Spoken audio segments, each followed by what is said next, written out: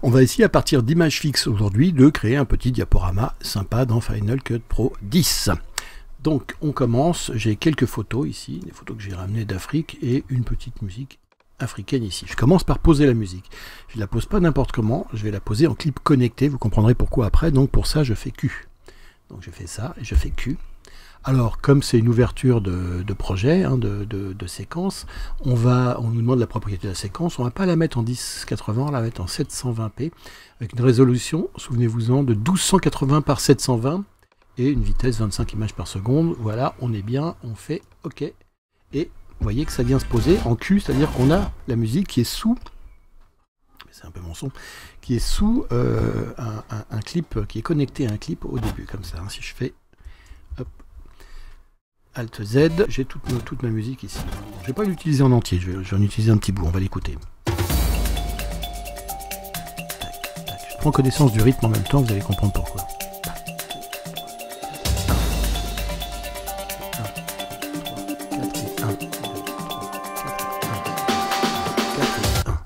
On va couper là. Et on va essayer de coller le bout après. Pour avoir un... On va à la fin maintenant. On va essayer de choper le dernier tempo.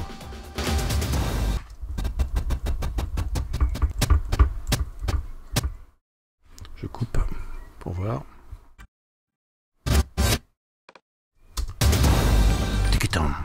Et donc on coupe, on enlève ça ici. On va venir reconnecter ça au début et on va voir si ça colle bien. On va, voir d'abord là où ça va. Alors c'est sur le c'est sur le premier qu'il faut que je, coupe. On va venir là en lecture. Je vais grossir un peu. Plus, plus. Je pense que c'est sur cette attaque. Voilà. Cette fois-ci, je rapproche. On va écouter ce que ça donne. Voir si c'est bon dans le raccord.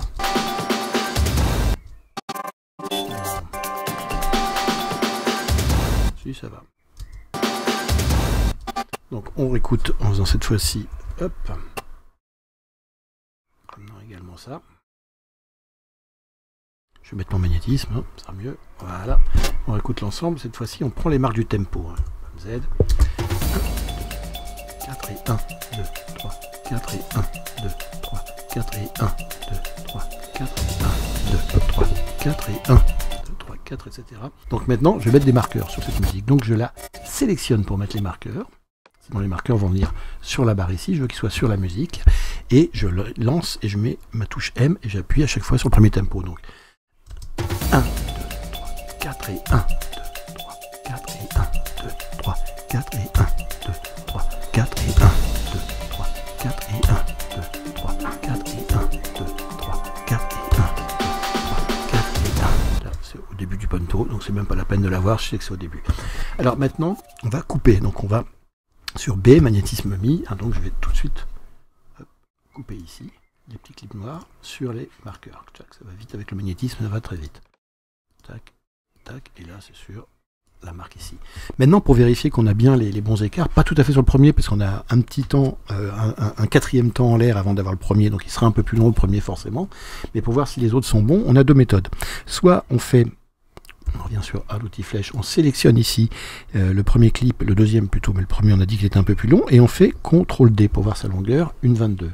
Le second, D, une 20. Mm, mm. Le troisième, une 21. Mm, je crois que c'est plutôt une 21. Une 21, ouais, je crois que c'est plutôt une 21. Ah, une 22. Et suivant, une 20. Là aussi j'ai un petit écart. On va commencer maintenant par mettre des photos là-dessus. Donc je vais chercher quelques photos. Euh, celle-là qui est pas mal, on va la mettre en ouverture, donc je la prends, et je viens ici, je vais la superposer, quand c'est en blanc je lâche, et je ne fais pas remplacer, parce que si je fais remplacer, je vais mettre les 10 secondes, vous voyez ici de la photo, oh, regarde si j'essaye, pas, j'ai 10 secondes, ça va pas du tout, je fais un pomme Z vite fait, non, je la prends, je vais sur, de manière à ce que ça fasse un rectangle blanc, et je fais soit remplacer depuis le début, soit par la fin, et hop, je m'adapte à la taille. Donc je vais chercher une autre photo, Sympa.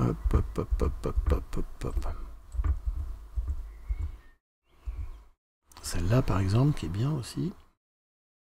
Je la mets en deux. Remplacer depuis le début. Je continue, alors je zappe un pour vous pour que ça aille plus vite. Alors, on y revient. Maintenant, je vais vous lire depuis le début ce que ça donne.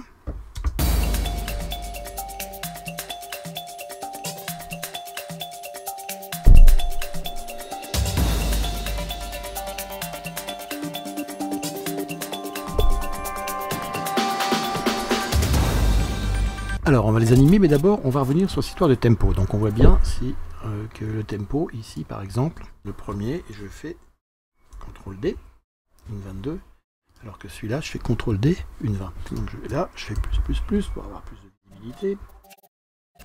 Je suis au début, et voilà, voilà le tempo, on va, on va le trouver ici.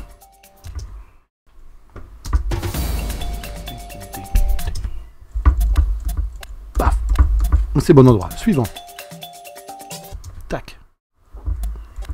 Voilà, en fait, c'est là qu'il fallait être. C'est là que je reviens en trois images en arrière. Pas comme ça, en faisant T, sinon ça va pas le faire. Donc, trimming ici. Hop, cette fois-ci, je suis bon. Tac, voilà, le tempo. Alors ici, on va revenir un peu au milieu pour que vous voyez bien. Est-ce que c'est au bon endroit? Oui, c'est au bon endroit. Le suivant,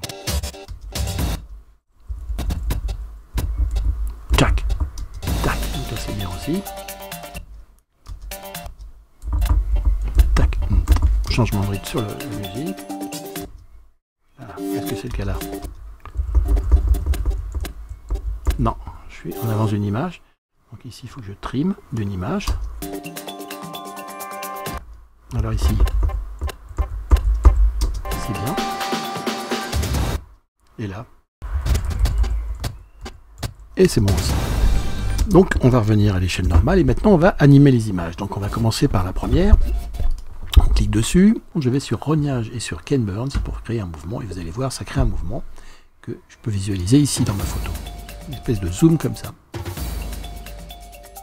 Moi je préférais que ce soit à l'envers, c'était plutôt donc je clique là-dessus, ça inverse. Bon, une fois qu'on a terminé, on fait terminer. On peut régler hein, le, début et la fin. Là mon début je vais le mettre plus. Pardon, c'est le vert. Mon début Enfin, oui, le début, je, voilà, je le règle plus euh, comme ça. Et la fin, je suis plein pot. Plan américain. Je reste sur la même ligne, en fait. Mais je suis plus gros. Alors, je regarde ce que ça donne. En fait, je préférais dans l'autre sens. Donc, je vais zoomer plutôt. Hop, donc je clique là. Bon, une fois que je suis satisfait, je fais terminé.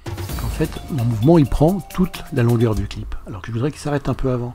Au lieu de faire... Et ça, on peut pas le régler avec des points d'animation dans l'effet Ken Burn. Ça, c'est un des défauts de Final Cut Pro 10. Donc, il faut ruser pour le régler. Il faut ruser comment? Si, par exemple, je veux que mon mouvement de zoom s'arrête par là, il faut ici que je coupe. Donc, je prends l'outil B. je coupe ici. Je viens sélectionner mon deuxième... Alors là, vous voyez, j'ai deux effets Ken. Du coup, j'ai les deux clips qui font le même mouvement le deuxième est plus rapide parce qu'il est plus court et que le mouvement est donc fait sur une distance plus courte. Mais là, ce que je vais faire, ce mouvement, je reviens dans mon rognage, je vais l'inverser. Et du coup, regardez ce que ça fait. J'ai à un moment donné l'image de départ du deuxième qui arrivait, l'image d'arrivée du premier. Et maintenant, si sur mon deuxième, je fais coïncider les deux rectangles sur l'image de début, c'est-à-dire que mon rectangle rouge vient de recter sur le rectangle vert, eh bien normalement, ça ne bougera plus. Donc voilà ce qu'on va faire. On va sur le Ken du deuxième, toucher le rouge et venir le mettre exactement ici pareil sur la ligne verte. Et on va le descendre poil jusqu'à ce que ça superpose complètement. C'est pas évident des fois. Voilà là je suis pas mal. On va faire terminer. Et on relie tout ça. Hop et vous voyez le mouvement s'arrête un peu avant là et en plus, je peux choisir soit d'aller plus vite, ici, alors je me mets en trim, je trim les, sur les deux clips, et je décide que le premier, l'effet Burns du début, va très vite, là par exemple, il va aller très vite, et s'arrêter ensuite, tac, ou il est un peu plus long, Hop, tout d'un coup, ça s'arrête là. Voilà, vous avez compris Ça, c'est très intéressant. C'est une ruse pour pouvoir jouer l'effet Ken Burns tout en gardant derrière notre image bien taillée au bon endroit et, à, la bonne, taille. Hein. C'est une petite ruse à connaître parce que c'est vrai que c'est peut-être un truc qu'ils vont améliorer dans les prochaines versions de Final Cut, mais là, l'effet Ken Burns, on ne peut pas lui mettre deux points clés, ce qui est quand même dommage. Alors, Ensuite, bah voilà, on continue à animer notre, autre image. hein. donc je vais, en faire quelques-unes et on peut passer, parce que je vous montrerai ensuite autre chose. Donc, alors voilà, un autre, deux effets Ken Burns fait sur les deux premiers plans. Le troisième, je vais faire différemment. Je vais le faire à la main. Pourquoi? Parce que je voudrais rajouter une petite rotation en même temps que, que le zoom. Donc vous voyez, ici, je me mets au début. Je vais faire d'abord une petite, un petit euh, agrandissement. Faut quand même que soit un peu dedans, ici. hein. Et euh, est-ce que je suis bien centré? Je suis pas mal, comme ça. Un peu moins peut-être. Voilà. Voilà. Donc là, ici, je me mets un point clé. Donc je fais ajouter une image clé. Je vais aux trois quarts ici de l'image, même presque vers la fin de, la fin de mon mouvement, en fait. Je voudrais qu'il s'arrête là. Là, je remets une image clé. Mais cette fois-ci, je vais faire tourner mon image un petit peu, de quelques degrés. Comme ça. Et je vais aussi changer l'échelle et la position. Voyez? Plus comme ça, je, je mets même un peu plus l'échelle. Je carrément sur les enfants. Voilà. Et donc là, j'ai créé une animation, si je la relis ici, cette fois-ci à la main. Hop, en m'arrêtant à la fin. J'aurais pu m'arrêter plus loin, mais... Paf Voilà. Donc si je reprends ce que j'ai fait depuis le début, là le Ken Burns, le Ken et là une animation à la main. Bon, je continue pas pour montrer ce qu'on peut faire avec le reste, je vais vous laisser faire. Simplement, il y a une chose qu'on peut rajouter, ce sont des effets ici. Euh, par exemple, je peux ajouter un temps sur la fin ici de mon clip, quand il est arrêté, voir ce que ça donne. Hein, voilà. Peux aussi euh, mettre entre ces deux images. Bon là je ne l'ai pas fait bouger, donc je vais quand même vite fait l'agrandir pour qu'elle soit. euh, pour qu'elle soit quand même qu'elle rentre un peu dans l'image, voilà. hein. Comme ça. Voilà, on est comme ça, et là au début de l'image, vite fait, on va lui mettre un point clé quand même rapidement. Donc on vient au début de mon image, on met un point clé, ajouter un paramètre, et on va à la fin de notre image, pas tout à encore, hein, pour que ça se calme un peu avant, et là on remet un autre point clé, ajouter un point clé, on fait un peu de rotation, et surtout on grandit sur les bornes comme ça. Donc voilà ce que ça me donne sur celui-là. Voilà. Et entre les deux, je vais mettre un effet qu'on appelle le bokeh aléatoire. C'est-à-dire je mets un bokeh aléatoire ici sur les enfants, mais je ne vais pas le faire démarrer au début, le bokeh aléatoire, je vais le faire démarrer ici, au milieu. Pareil, j'utilise les points clés, donc je rajoute une image clé ici. Et là, il est à zéro encore d'opacité, donc on l'a pas. Je rajoute trois images, et là, pof, il va arriver à 100. C'est-à-dire que là, je rajoute une autre image clé, et cette fois-ci, il est à 100. Donc vous voyez, mon effet bokeh, il arrive sur la fin du clip. Hop. Et là, pareil, on va mettre l'effet bokeh, mais on va mettre dans l'autre sens, c'est-à-dire qu'on fait un effet bokeh aléatoire, mais qui va être au début maximum, donc à 100%.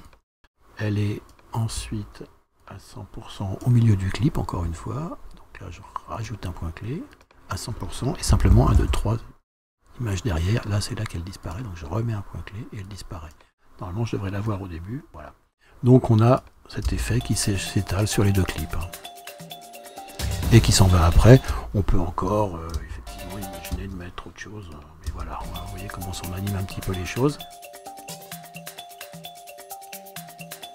Entre les deux ici, je peux aussi ajouter un, petit effet. hein, Je vais mettre une transition aussi entre les deux, on peut ajouter. Et dans les transitions, on peut aller chercher euh, des dissolutions, des effacements.